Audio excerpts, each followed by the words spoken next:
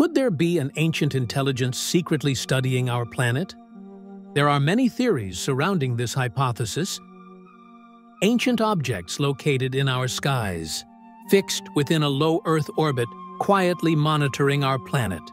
Known as the Black Knight, this purported Stone Age satellite is located in a near-fixed polar orbit.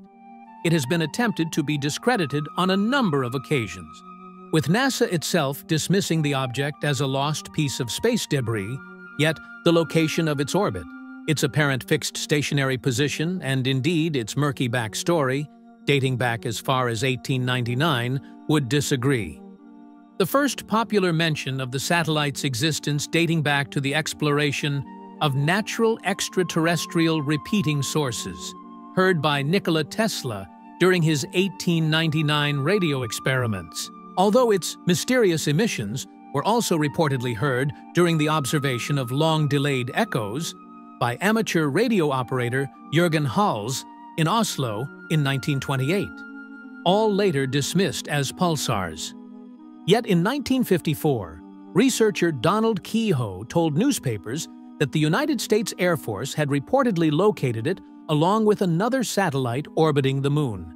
However, at that time, no country had the technology to launch such a satellite.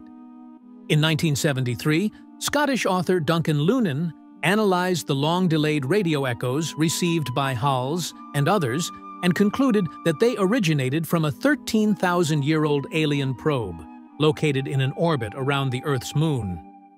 He suggested that the probe may have originated from a planet located in the solar system of the star Epsilon Boötis. Lunan would predictably later retract his publicly made conclusions, saying that he had made outright errors and that his methods had been, quote, unscientific. And in 1998, during the STS-88 mission, we would finally catch a glimpse of this elusive object one reported as existing for over a century, yet continually denied. Now that its existence was backed up by photographic evidence, the storyline as to its origins changed. These original aforementioned reports are now discredited as never existing. And in its place, the photographs are of a thermal blanket. This explanation now allowing for the object to be classified as man-made, and indeed of human origins. The chronology of this storyline shows a mysterious unknown object, one emitting radio bursts subsequently dated as many thousands of years old, turning to actual reports of its existence and location being made via radar and other detective practices, to it thusly being photographed.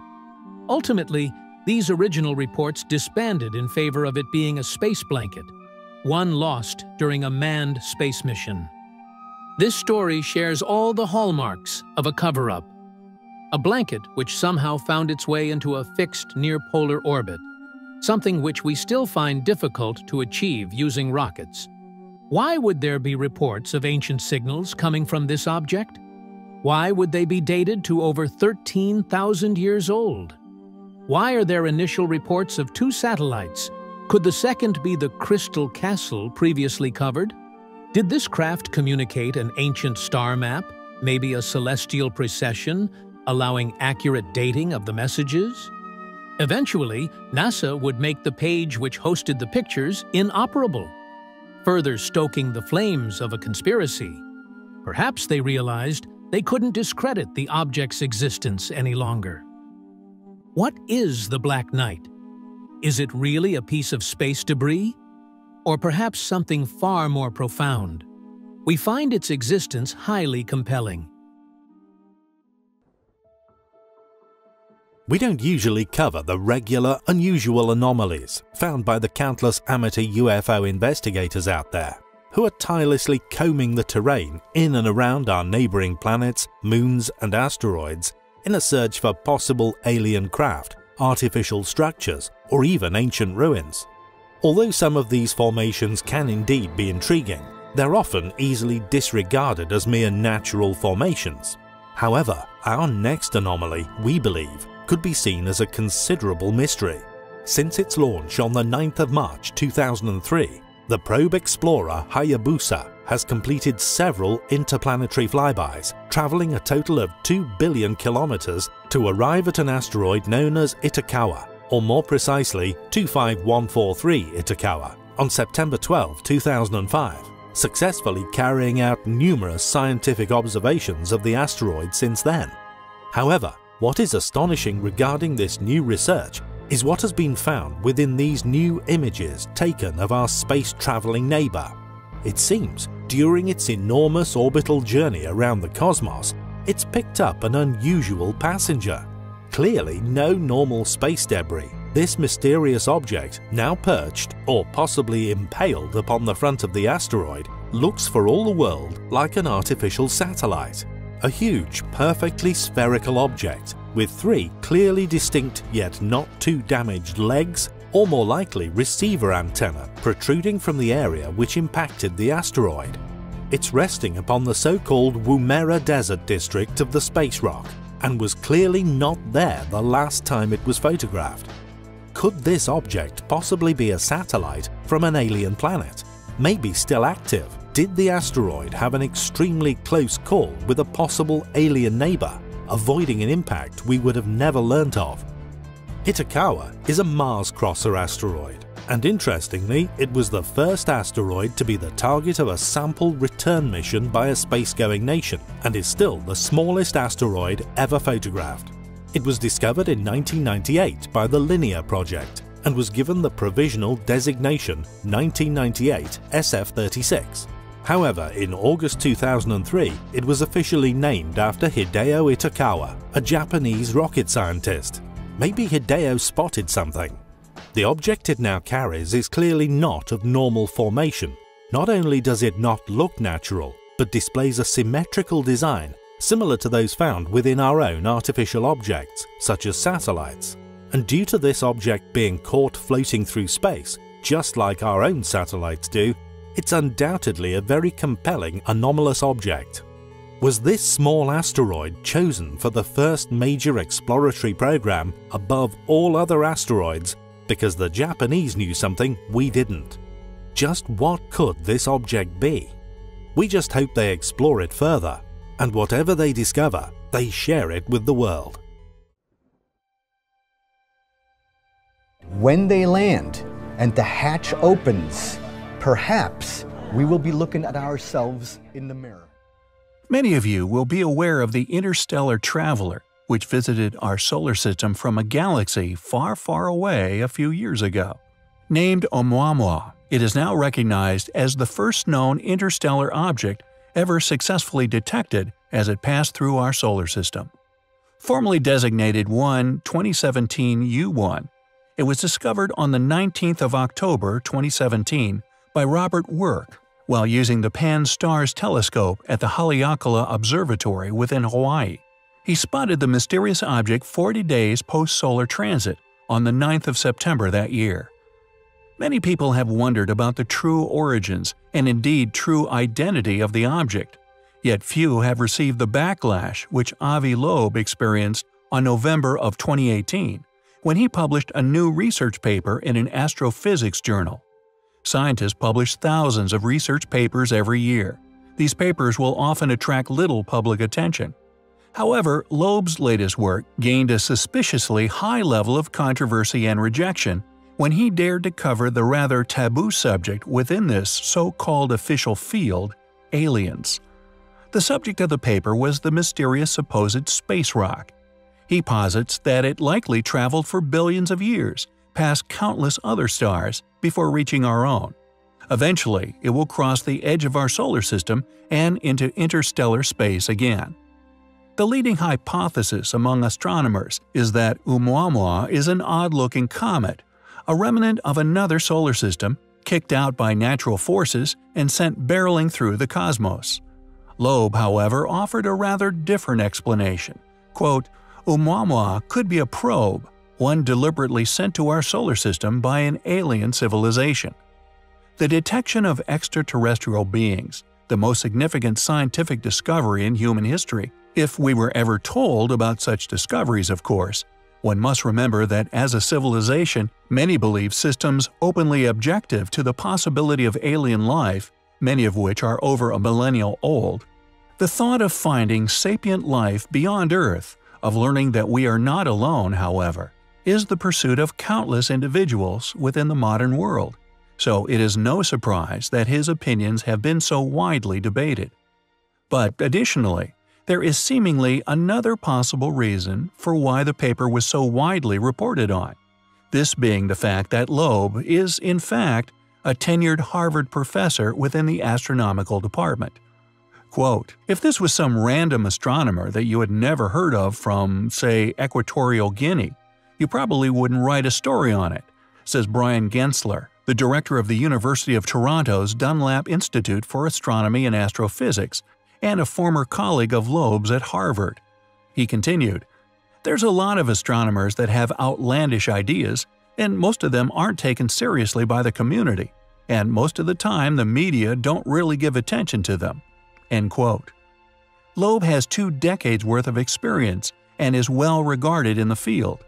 So, regardless of what others would like him to believe, his opinions matter. Was Oumuamua really an ancient alien's exploratory craft, one spying on ours and many other solar systems? If it is, it means we are indeed not alone. What's more, it means we have undoubtedly been found. So, the professor's opinions, no matter how controversial, we find highly compelling. There are many theories which orbit the Apollo space missions.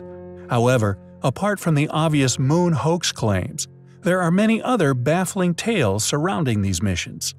Surrounding not only a proof to the validity of the programs, but also a seemingly transparent approach to presumably many, although we would never believe all, of the anomalies that the American Space Agency encountered during those incredibly expensive yet highly successful missions watched by nearly everyone spinning around on our small globe. One, very few lucky enough to travel away from, like to call the Blue Marble. There are many unexplained images that have been snapped of the moon by NASA.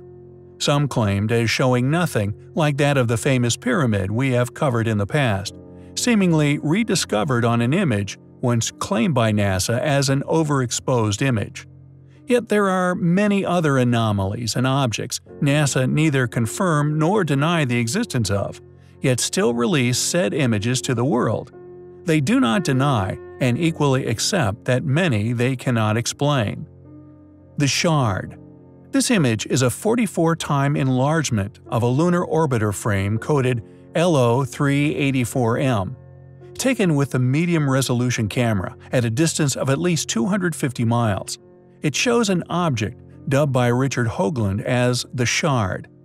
Interestingly, although some have dismissed the object as a simple camera malfunction, the Shard also possesses a shadow correctly aligned with the position of Sol at that time. According to Hoagland, quote, Poor resolution images, like this one of the Shard, have led some to conclude it is an ephemeral outgassing event.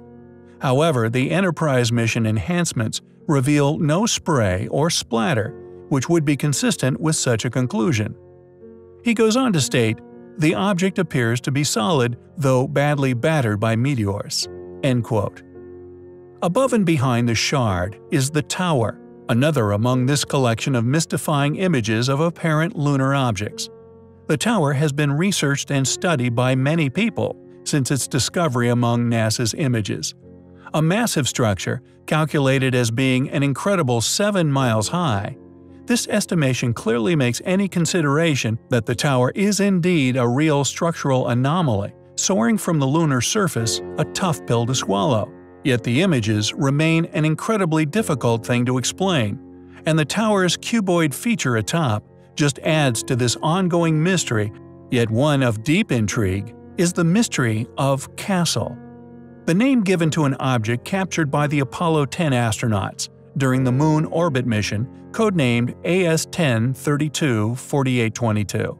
It is of a one-mile-long object floating miles above the lunar surface, like a satellite to our satellite, that, even more amazingly, is possibly like that of what makes Saturn's rings, that being ice crystals of pure water, is apparently, according to future enhanced image study, also made from a material alike glittering glass. Apart from the reports of strange music being heard on the far side of the moon, a claim few will ever be able to confirm the truth of, this extraordinary object is something very few know of, and even less have studied. Unless more attention is given to such incredible anomalies, ones witnessed by us already, and so relatively close to our little home, we may never know what they are. They are, undoubtedly, highly compelling. Antarctica, one of the world's most mysterious continents, home to one of the largest and driest deserts on the planet, covering an area of around 5.5 million square miles. If there was anywhere on Earth where crashed, preserved, ancient alien technologies could still be found, it would be here. An untouched landscape, which may, in all possibility, be the final resting place, as of yet unretrieved relics, which may have been stranded there to this day. The deep sea, which surrounds Antarctica, for example, are some of the most difficult and inhospitable environments to explore anywhere far away from the modern world, deep within the frigid, pitch black waters of this massive chunk of ice, where our next discovery was miraculously made. An out of place artifact which is still resting at the bottom of this sea. Known as the Eltanin antenna, if it wasn't for the brute strength of the nearly 2,000 ton ice breaking vessel known as the Eltanin, we may never have found it. Initially a U.S. Navy cargo carrying icebreaker, in 1962 she was reclassified as an oceanographic research ship and became the world's first dedicated Antarctic research vessel. On the 29th of August 1964, while collecting sample cores and photographing the seabed west of Cape Horn, the Eltanin took the first known photograph of the antenna at a depth of nearly 4,000 meters the first public mention of the unusual object would not surface for several months. A news item, which appeared in the New Zealand Herald on 5 December 1964, under the heading Puzzle Picture from the Seabed, would briefly disclose the discovery, yet any further exploratory missions, if indeed there has been any, have been operating in secret. Similar to the Baltic Sea anomaly, yet positioned at a far deeper depth, in an extremely remote, cold, and lonely part of our world, it too shows all the hallmarks of an artificially created object. The question is, what could it be? And more importantly, what was or is its function? In 1968, author Brad Steiger wrote an article for Saga magazine in which he claimed that the Eltanin had in fact photographed, quote, an astonishing piece of machinery very much like the cross between a TV antenna and a telemetry antenna. End quote. It is interesting to note that the Black Knight satellite, an anomalous object which is in a polar orbit, has been declared by numerous investigators throughout history as an artificial alien satellite. And with what appears to be an enormous alien antenna resting on the Antarctic seafloor, is it possible that the two are connected? Or possibly, in communication with each other. In 2003, Tom DeMary, a researcher in underwater acoustics, contacted oceanographer A.F. Amos, a member of the Eltanin's crew in the 1960s, in an effort to debunk any theory involving artificial design. In turn, Amos referred DeMary to the 1971 book The Face of the Deep by Bruce C. Heezen and Charles D. Hollister. It seems Hollister had already attempted to identify the mysterious object as a carnivorous sea sponge. However, these attempts to discredit any unusual hypothesis was solely based on the same photographs we are privileged to. Further photographic exploration of the object, if undertaken, has been done in complete isolation from the public. What is the Eltanin antenna? A mere sea sponge? An actual alien antenna? Whatever it is, it seems certain fields of study would like you to believe it's natural. Regardless of whether confirmation of such claims was made, we always find this highly compelling.